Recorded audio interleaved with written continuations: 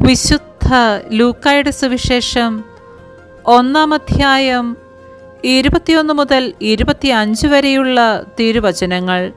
സ്നാപക യോഹന്നാന്റെ ജനനത്തെക്കുറിച്ച് അറിയിപ്പ്. ജനം സക്കറിയായെ കാത്തു നിൽക്കുകയായിരുന്നു. ദേവാലയത്തിൽ അവൻ വൈകുന്നതിനെപ്പറ്റി അവർ അത്ഭുതപ്പെട്ടു. പുറത്തു വന്നപ്പോൾ അവരോട് സംസാരിക്കുന്നതിന് സക്രിയായ്ക്ക് കഴിഞ്ഞില്ല.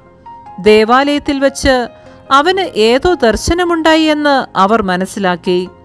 അവനവരോട് ആംഗ്യം കാണിക്കുകയും ഊമനായി കഴിയുകയും ചെയ്തു. തന്റെ ശുശ്രൂഷയുടെ ദിവസങ്ങൾ പൂർത്തിയായപ്പോൾ അവൻ വീട്ടിലേക്ക് പോയി. താമസിയാതെ അവന്റെ ഭാര്യ എലിസബത്ത് ഗർഭം ധരിച്ചു. അഞ്ചു മാസത്തേക്ക് അവൾ മറ്റുള്ളവരുടെ മുൻപിൽ പ്രത്യക്ഷപ്പെടാതെ കഴിഞ്ഞുകൂടി.